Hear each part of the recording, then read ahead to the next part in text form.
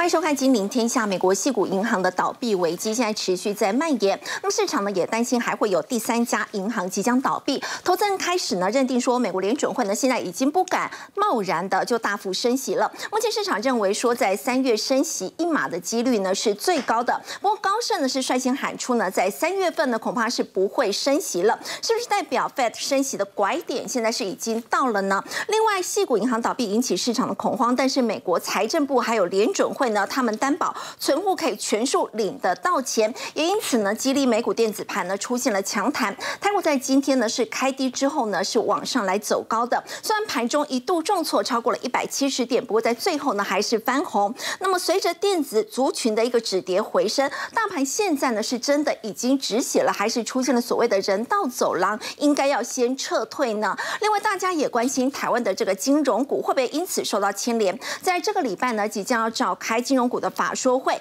现在操作金融股呢，是可以安心去参加除权息，又或者呢，是应该要以赚价差为主呢？我们在今天节目现场为您邀请到资深分析师陈威良，大家好；资深分析师许峰路，大家好；分析师纪伟明，大家好；以及金陵天下特派员叶芷娟，大家好。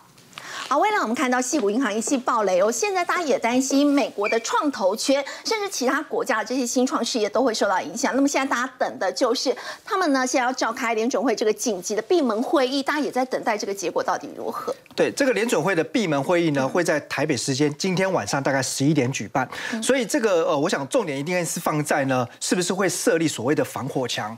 因为现在从细谷银行的事件呢，至少它是一个呃，算是单一个案，但但是。它会不会变成是呢？整个中小型银行的风险，甚至演变成呢？整个美国、美国甚至包含全球的金融危机，这个其实就在于后续怎么样设好一个防火墙，让整个事件呢能够尽快的平息，而且不要让损失或风险进一步扩大。那我想，其实呢，呃，联准会连同呢财政部，还有呢这个美国联邦的存款保险公司，算是快刀斩斩乱麻，因为在第一时间呢就已经告诉呢，西谷银行的所有的存户哦，他们能够呢。去提领资金，我想这件事情是最为关键，因为呢，能够让大家呢，哇，不要再去有这种挤兑的想法哈。那我觉得基本上哈，这个其实如果从美国这一次的一个动作来看，他是希望说哦，不要有更多，因为呢，其他的哦类似规模的中小型银行，其他的存户也通通比照细股银行存户，大家呢可能在今天都要跑到银行去提领了。那这个当然就会造成了流动性的问题。对。那我们如果看到美国有这样的一个动作，就代表它至少是希望。呢，整个世界是在可控的范围之内，所以期货盘后来就是上涨的一个情况。对，所以在今天的早上哦，其实我们就看到美美股的三大指数的这个电子盘都是呈现上涨的走势哦，就代表诶，至少初步来看呢，这个事件暂时是还在可控范围之内。嗯，可是呢。哦，也不代表说啊，从此呢就已经啊化解所有的危机，因为呢，美国其实这种地区性的中小型银行非常多。那细谷银行它也不是算是体质特别弱的，事实上它的规模在美国还排第十六大，所以其他呢可能有些体质比它更弱，或者说比比它体质更小的银行，也不能担保说后面不会呢发生问题。好，那其实最近呢啊就有呢人预测，接下来很快就会看到呢其他银行也会出事。那包含就是呢著名的作者哦，富爸爸穷爸爸。哦，这本呃著名的这个投资经典书籍的作者哦，罗伯特，那他其实就呃提到第三家的银行呢，应该在近期之内呢就会出现倒闭的消息了。嗯，而且他特别举例说哈，在二零零八年金融海啸之前。发生的几天前，也就是在雷曼兄弟倒闭之前，他公开接受 CNN 媒体专访的时候，那时候就预测会发生这样子的金融海啸等级的危机。对，所以这一次呢，哎，他也信誓旦旦的认为，哈，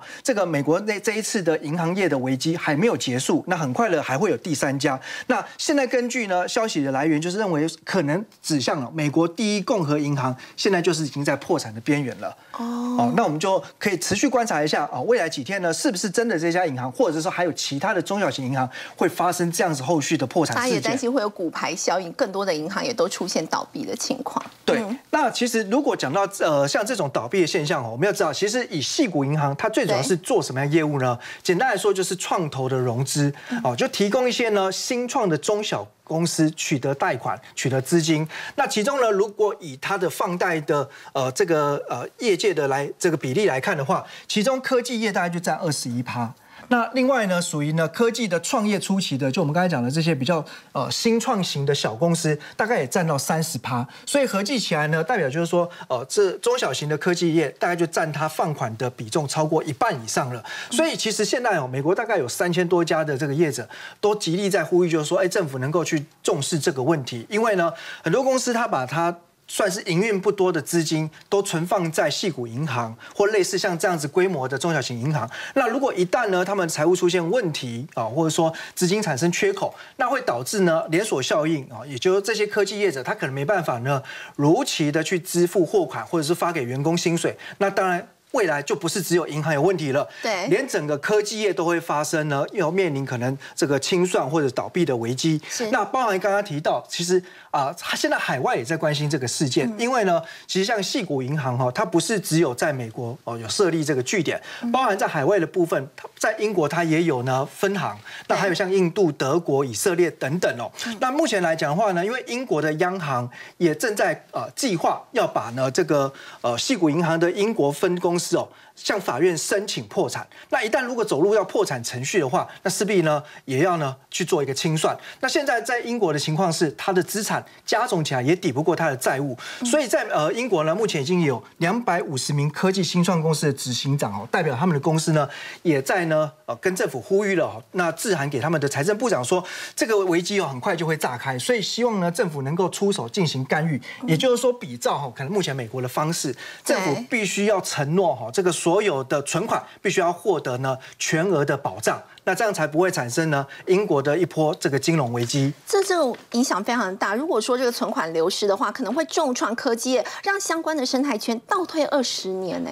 呃，当然，因为这些是属于新创公司啊。说实在，对于大型的科技业者不见得有影响，因为他们也没有存款放在这样子规模的银行。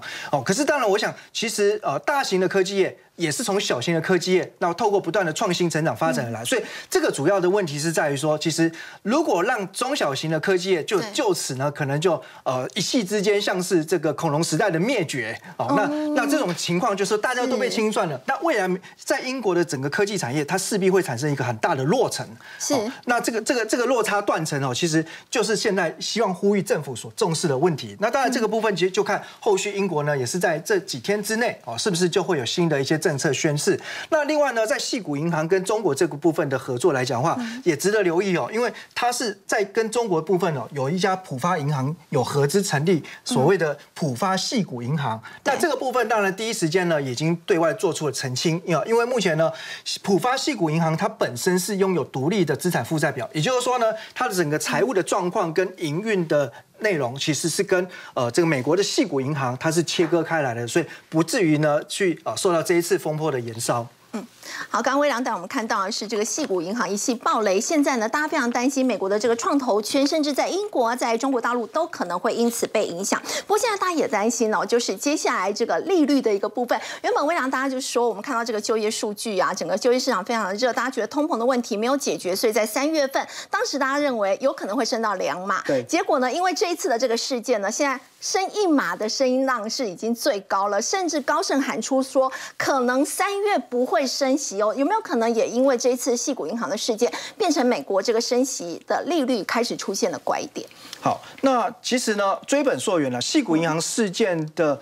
根本的问题是在于，就是呢，啊，美国联准会这种暴力式的鹰派升息，对，所以导致呢，好，因为短期利率攀高之后，它的成本大幅增加，可是呢，长期利率却压低，那其实他们的收益是来自于长期利率，所以导致呢，这种哦属于负利差的一个状况，其实对他们的营运就造成很大的压力。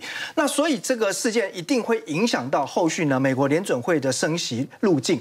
那其实上个礼拜。全市场几乎都还在讨论或者说担心美国呃今年的升息啊，我们讲这个目标要提高，而且时间点要延后。可是呢，就经过短短的一周哈，其实这个重大事件，我们看到最新的数据，截至到今天中午为止哦，根据飞 watch 的这个观察来看，三月份呢升息一码的几率已经大幅度提高到九十二点三 percent。超过九成了，对哦，上个礼拜呢都还信誓旦旦认为说基本上是应该就笃定要升两码，对。那现在从数据上面看呢，三月份呢看起来就是升息一码了。好，那更重要是在于呢，年底的终端率利率会到多少呢？哎，目前几率来讲最高的是四点七五到五趴。哦，这代表就是呢，跟呃三月份升息之后利率是一样的，这怎么回事？我讲给大家听。三月升息一码之后，现在预期五月份会再升息一码，而五月份的那一次升息就会是今年的最后一次。最后一次升息就出现在五月。对，原本六月还要升息。对，本来六月还要再升一码，现在没有了，不见了。好，然后呢，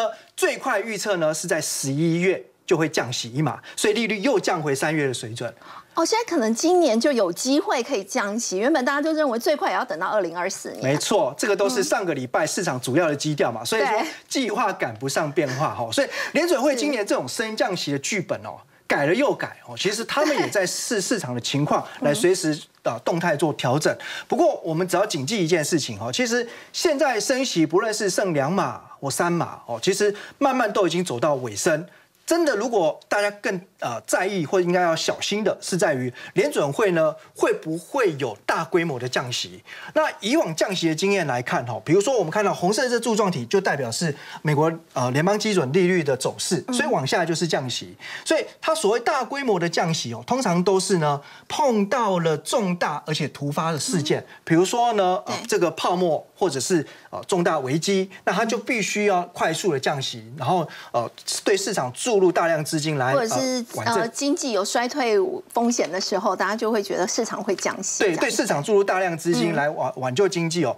但如果是所谓预防式降息，也就是说，当升息啊结束以后，那考量到呢，因为可能现在利率水平偏高，哦，那未来经济可能有软着陆的风险，它可能会哦稍微调降个一码、两码、三码不等哦，但是幅度不会很大，而且并不是采连续性的降息，这种我们称之为预防式降息。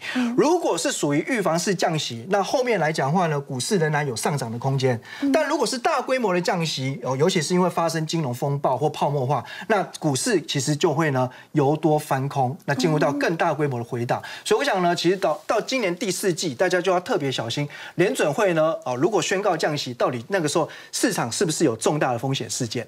好，刚刚微亮带我们看到呢，美国系股银行倒闭的一个事件呢，那么现在可能让美国联准会呢原本持续升息的一个态度，现在是出现了转变这样的一个情况。不过呢，现在市场其实也非常的担心哦。那么在台股的部分呢，其实今天也是开低的，不过之后呢却是翻红，而且是收高上涨了三十四点，这样的一个上涨呢，要请教封路，是真的说这个危机已经过去是止血了，还是呢其实它是一个假反弹真逃命？嗯，好，我想刚刚未来有特别提到这个美国股市啊，针对于这一个 SUB 的事件的一个影响，他做出了探讨。那基本上，我觉得就用这两张图来说吧，只要银行出现流动性风险，撒钱，撒钱，钱撒下去，事情就解决了。而且啊，针对于整个这个这个细股银行的部分，它其实在美国的银行。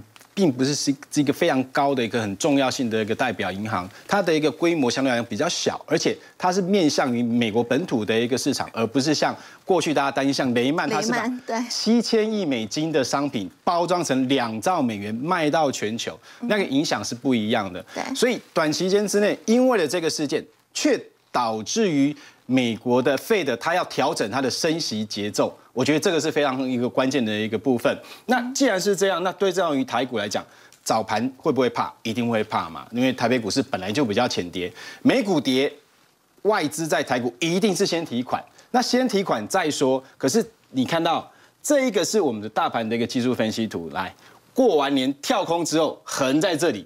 只有上个星期有一些的一个利多让它往上走，假双要假突破，但感觉是真拉回哈。但我必须说，现在指数要再往上攻，一定会非常有限。我们上周也是这么提嘛。再往上走，不管是你说的三月、二月的营收公告结束了，大概利多也都反映完了。还有直利率的，直利率的股票现在陆陆续续还有一些，因为还有很多年报没有公告，这还会有一部分的一个题材。融券，我们说融券的一个高空指标是。创意，但创意其实也在啊前两周有出现了一个中国的一个客户出现他的被美国制裁的关系，所以它也让整体的股价稍微休息，但是它今天并没有大跌哦。嗯，融券这一回补日是上星期五，那今天它没有大跌，所以我会判断现阶段啊整体大盘它要再冲高不容易，但会有个人道走廊让你去做一个逢高做调整。人道走廊是要大家赶快。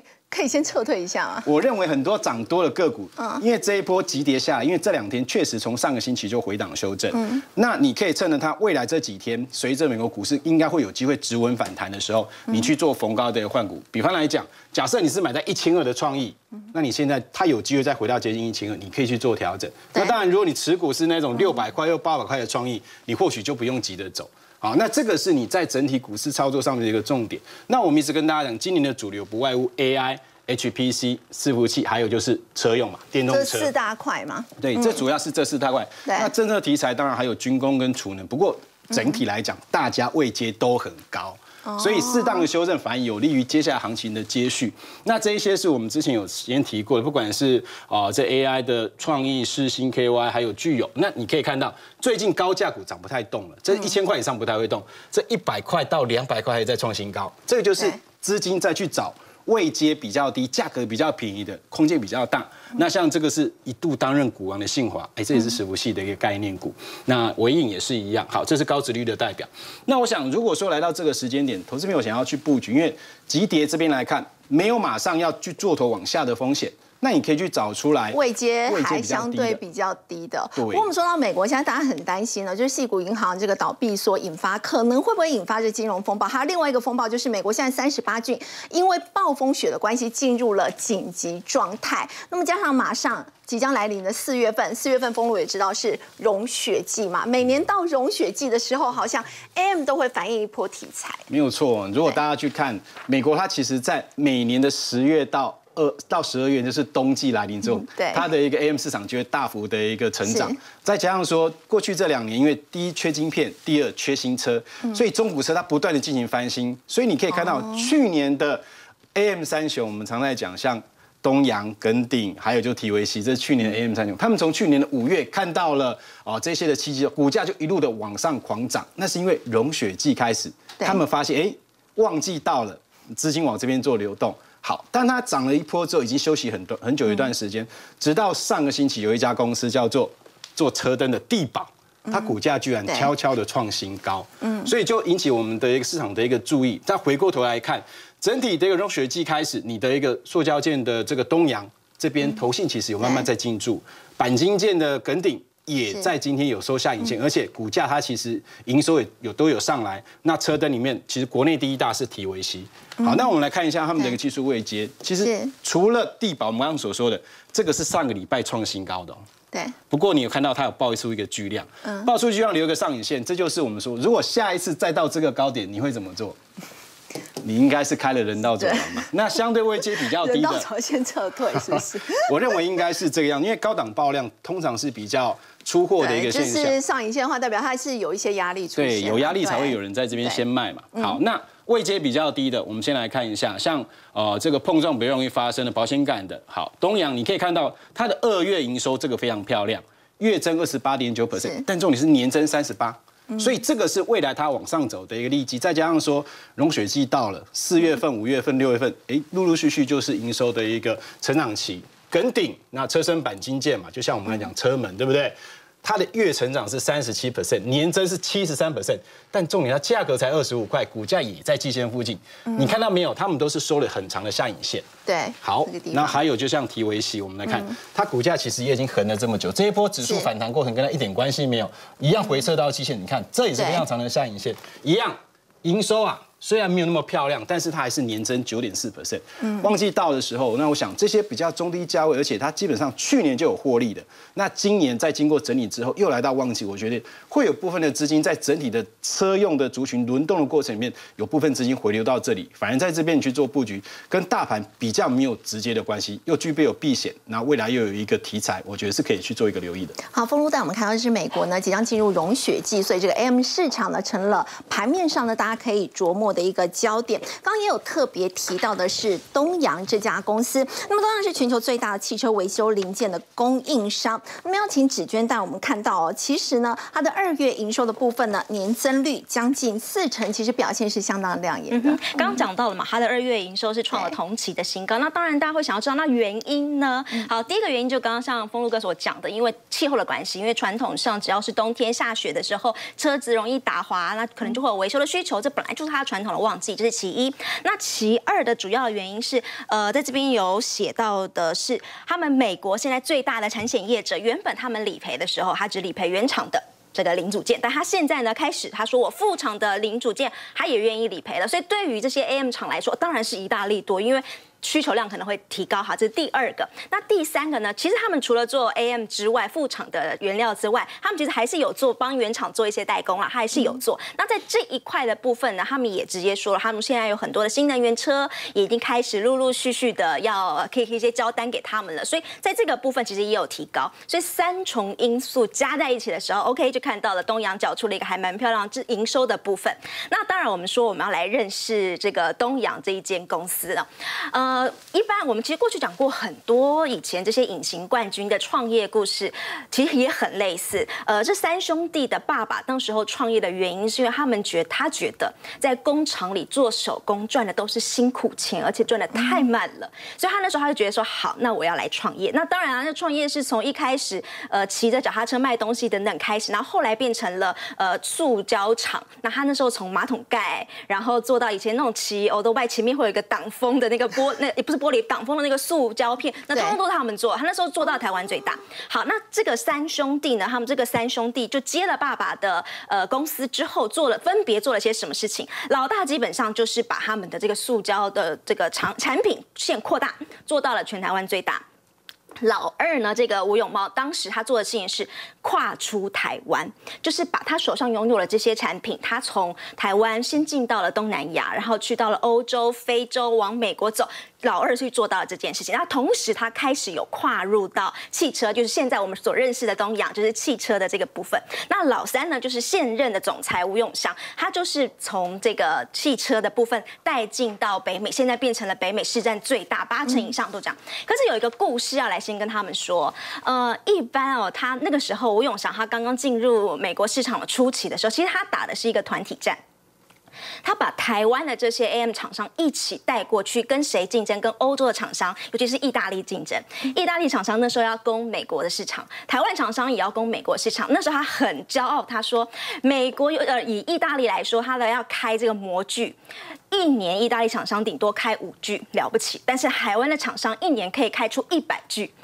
这样子，对这个这规模差很多，所以他就说台湾厂商我们开模具的那个时间速度又比人家快，然后金额又比人家低。他说不到五六年就通通把这些欧洲厂商赶回去了，所以现在台湾厂商在北美 AM 就就变成了霸主。这是当时有一个故事在这里，但他也有说，他们那时候前进到交通就是要做汽车零组件的那个时候，他说其实一台车在那里，他们也不知道哪一个零件应该要去做会赚钱，所以他那时候他跟他哥哥做了什么事情？他说他们就在。那个饭店门口，就是到美国出差，他就在那个饭店门口，然后就坐在那里，然后看路上的车子的状况。哎，哪个车子多，他就开始记录，然后他就开始去想，哎，这个车子他们的普及率很高哦，他们就开始在想，那是不是就会有维修的需求？所以呢，他说他那个时候做完试调回台湾之后，他一口气他说要开发二十种的品相，可是那个时候预计要投入四千万的投资计划，对当时年营业额只有四亿的东阳来说，其实是还蛮大的一个风险。但是呃，模具这个市场就是这样，你呃开发之后大概要回本，大概要五六年以上。所以其实它的那个出境的门槛是高的，但你一旦你卡。位卡好了之后，你别人要再进来这样子就不容易了。所以这个霸主一旦做下去之后，你别人要进来其实是不容易的。好，这是讲到他当时怎么样成为北美 AM 霸主的一个地位的故事。但是到近几年的时候，我必须得说，因为那时候我曾经自己去采访过吴永祥，然后去看过他们的工厂。子坚有去采访过吴永祥，对对对，那看过他们的工厂，我印象很深刻。那时候我们在访厂的时候，吴永强就拿了一个投影笔，然后还拿一个是手机，他就在工厂里面一直指指指，然后就会跟旁边人说，就其他其实要带我参观，但他看的过程当中，他就会跟他的呃员工讲说，哎，这个产线这个也不对，要改一下，然后他就自己就拍照，然后这个不对，改一下拍照。所以他那时候还给我看他的手机，他的手机里面充满的都是工厂里的照片。就他对于他自己认为说，他对于工厂的优化，他认为这件事情很重要。他说，工厂就是要来创造利润，就是要拿来赚钱的。那我如果要跟对手做竞争，我一定要把我工厂的效率提高，我才赚得到钱。所以他认为说，工厂效率他比较重视。相对于接单数字，他说他更重视的是整个工厂的一个优化。所以他其实真的有点走火入魔，因为很难得会看到一个大老板拿手机说：“来，你看我的照片。”他不直接给我看，一直划，全部都是工厂的照片，他就一直要优化，在优化。这是他目前的，这到目前为止都在做。即便前几年因为疫情的关系，他们营运上有一些逆风，但基本上他都是一直还在做工厂优化。所以你发现他的厂有点像半导体厂，很很科技，然后也很干净，有这种感觉。好，那另外呢，再讲到是说。他们因为他是一个家族企业嘛，爸爸创业，然后交给了三兄弟。但是其实这也是传产里面很不容易的啦，就是他们还是走的是专业经理人的一个路线。所以他现在家族经营的色彩有慢慢的被淡化掉。嗯，他这边有讲到那个他们准备要上市的时候，他们三除了现在除了三兄弟之外，其实现在吴家亲戚大概只剩下七个人，其实要把他们三个扣掉，所以大概亲戚只剩下四个人了。所以家族企业已经完完全全彻底的改造。那我也印象很深刻的是，呃，那时候吴永祥他是说他很喜欢戴那种红色非常 fashion 的眼镜，然后那一年的时候，那个苹果正红色那手机新上市，他就立刻买了一只正红色的手机。我说，哎。董浩你你一个男生，然后拿一个正红色手机，好像有点怪怪。他就说没有，身为领导人，就是潮流在哪里，我就要先去尝试。他说我人是这样，他认为他的公司也会这样。好，刚刚子娟带我们看到是东阳的故事。不过我们说到，的确在车用市场呢，这个商机非常的大，所以现在连 IC 设计的翼龙店呢，都要锁定车用来做布局了。我们要请这个伟明带我们看哦。说到这个翼龙店的董事长叫做叶一浩，他是工程师出身。而且说他每天的工作呢长达十四十五个小时，真的是工作狂。那我们其实会讲到翼龙啊，我们认为它是一个在产业里面蛮特别的存在。所以一开始翼龙店，我们跟大家介绍一下，它本身是做触控 IC 出身的。那触控 IC 这个东西啊，它很早很早就切入了，因为我们现在都很习惯用智慧型手机嘛，所以我们对触控面板是非常非常熟悉的。可是，在当初这个触控面板一出来的时候，大家根本就不知道这东西到底要怎么应用。所以啊，我们先看一下，先从财务数字，我们等一下来讲它的故事。我们刚才提到了，它是做所谓的触控模组，而且是从笔电的触控模组开始出的，而且更厉害的是，它抢下了市占世界第一哦。这件事情是非常可观的，特别是它在毛利率上面的表现。哎，它在二零二一年的时候，第三季毛利率是五十一 percent 以上，真的很高。当时的联发科只有四十六点七 percent。为什么这件事情会很惊人？因为联发科它本身作为一家 IC 设计的公司，它做的是纯的 IC 设计，可是问题是翼龙店它呢？在做的事情，它其实有一点像是，哎，我把东边的料跟西边的料煮在一起，我把它组整合成一个模组。所以你今天一个整合模组的厂商，竟然比一个纯的 IC 设计厂商还要拿到更高的毛利率。所以这叫什么？翼龙奇迹啊！那其实这件事情，等一下我们也会讲说，哦，因为他的董座、董事长兼总经理是一个非常特别的人。但是我们先看一下，回顾它过去的故事。在二零零三年，我们刚刚有提到了关于触控面板的一个小的段落嘛？他当时买下了一个叫 K-Tech，那这一个就是他切入触控。面板的敲门砖，可是呢，当时最大的阻碍是美国有一间厂商叫做新思，它是全球的触控晶片的龙头厂。然后呢，他现在翼龙一间小小的厂商，竟然为了要去突破这个困境，跑去美国说我要告你。我要跟你抢专利权哦！结果这个专利权，因为大家一片不看好啊，觉得你这么小一间厂商，你怎么跟人家大间的厂商拼？没有，结果以小博大，成功喽！诉讼大战大获全胜，所以这就是为什么翼龙店能够在这个世界的市占率抢下第一的其中一个非常重要的原因。他以小博大还可以胜诉？对，因为他们确实在专利上面有他们自己的特色，在台湾的 IC 设计是非常非常厉害的，所以这个叫做一举成名天下知，也让他成为了世界的触控 IC 的龙头。那另一方面呢，还有另一个，二零零九年他又对苹果再打一个专利战，连苹果的专利苹果他都敢打哦。是。那么我们最早的那个触控面板其实是所谓的单指触控嘛，你用两只手指头你是没办法触控的。可是，在两指甚至是多指的这个触控 IC 设计，翼龙很早就开始研发了，所以他跟苹果打这个专利战，哎，又打赢了。苹果最后拿了五百万美元的和解金给翼龙店。所以我们可以看到，翼龙店它在这个专利在智慧财产权上面的竞争力是非常非常。强的。那为什么能够这样子呢？呃，这个核心人物就是我们看到的，哎，董事长叶一浩，他是交大出身的。那本身你不管是在做理工科，还是你在做研究员，你本身就是一个很高强度的工作，所以工作狂这件事情非常的理所当然。你每天上班时间十四到十五个小时，代表什么？你除了吃饭睡觉，你几乎其他时间都在工作。对。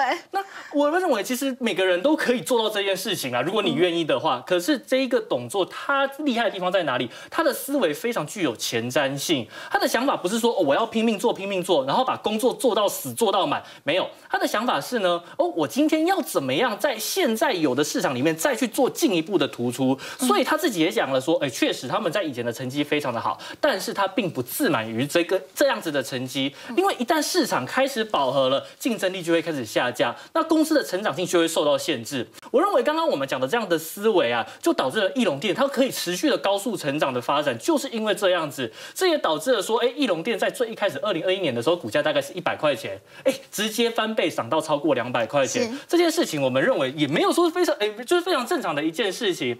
那么呢，它的重点就是它会留意新的产品，因为呢，它要跳脱所谓的杀价竞争。一旦你一个产品开始成熟化了，中国的厂商就会进来了，红色供应链就会进来了，杀价竞争。那现在呢，翼龙不想要做这件事情，翼龙店不想嘛，所以它才能维持这么高的毛利率。所以我们现在最近不是大家都很喜欢讲 AI 吗？嗯。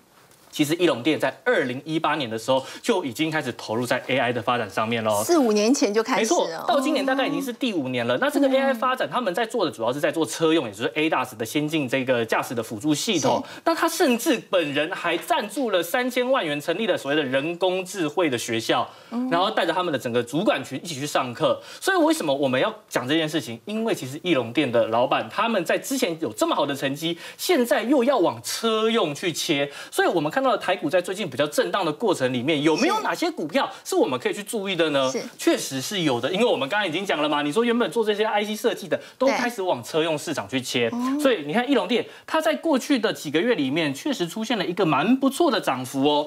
那一方面是因为反映了说，大家认为说整个，因为它本业是所谓的笔电供应链起家嘛，那已经看到了说，哎，在个底部在未来的不远处，所以股价就提前反应。那么另一方面呢，我们刚刚讲到的车用。车用的话，翼龙它在旗下，它在去年的时候转投资所谓的奇美车店，大概拿了三十 percent 的持股。那目标就是要干嘛？打入北美的汽车供应链。所以刚刚讲到的这些 AM 汽车族群，哎，又跟它有关系了。那么我们可以看到说，其实翼龙它在这一段股价虽然有比较明显的涨幅，可是以技术线的形态来讲的话，它仍然是在年线下方，它不是最强的。那车用的这个族群呢，它有非常非常多的网络的这一个卫星厂嘛，对不对？所以我们要看到它有非常多的零组件，其中一个是最近非常强势的。对台版也很强哎。台办的话，它的最主要的题材就是在做车用二级体，它已经站在所有均线之上。没有错，它不只是站在它均线整理了非常长一段时间，然后呢突破表态以后就一路往上走。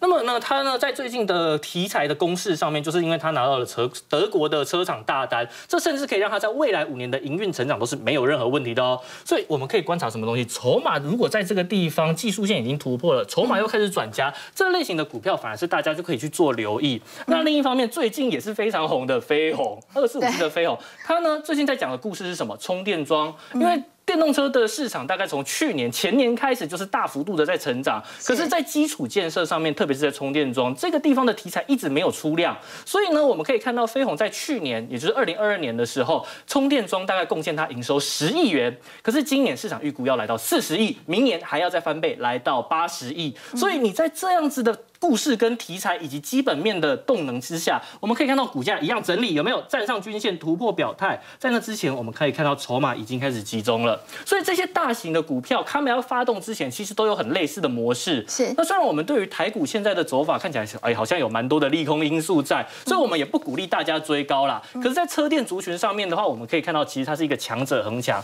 你依赖的仍然是一些基本面的题材，而不是说，哦，我现在看到台办涨上去了，哦，我要去做什么？我要去做鹏程，我要去做强贸。那这两间厂，它就没有接到德国的车厂大单呐？你去追它干什么？没有错。所以我们在看到了股票的强势，仍然要搭配它有良好的基本面。那最后一个，我们可以提醒大家留意的就是八一零三的汉泉，因为你车用你一定要有很多的连接线，那它打入了美台日的车用连接线，而且它又同时又有充电桩的题材，虽然它的一样是在年线附近，可是这个地方有没有很像？原本台办要开始突破的地方。一旦在这个地方出现了带量攻击的情况，而且筹码呢又开始集中的话，他们就有机会走出跟台办、走出跟飞鸿一样的这样子的技术线图的走势。所以我认为这些股票就是大家可以去做一个选股的一个留意的方向。